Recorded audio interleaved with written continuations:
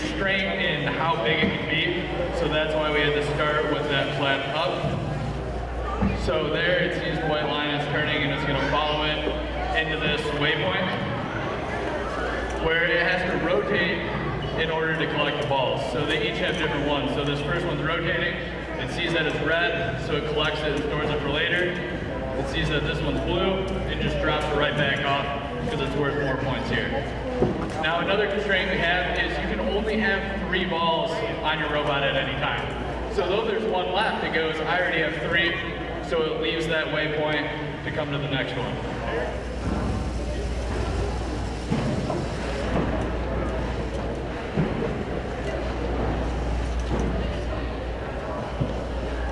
So this next waypoint is different than the first one.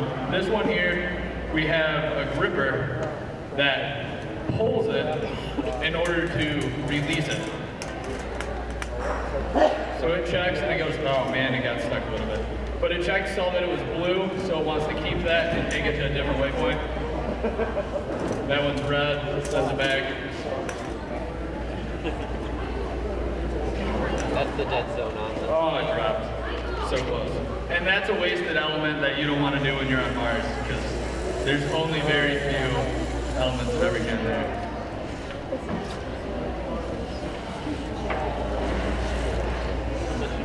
So this last one is a push mechanism.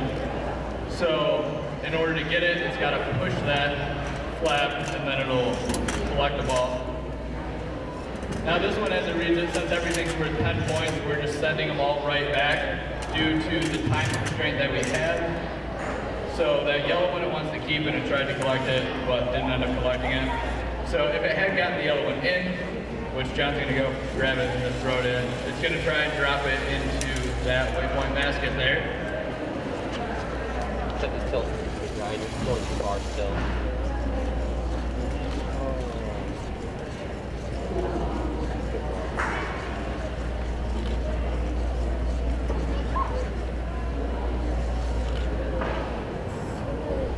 and it didn't tilt down, so it didn't drop it off.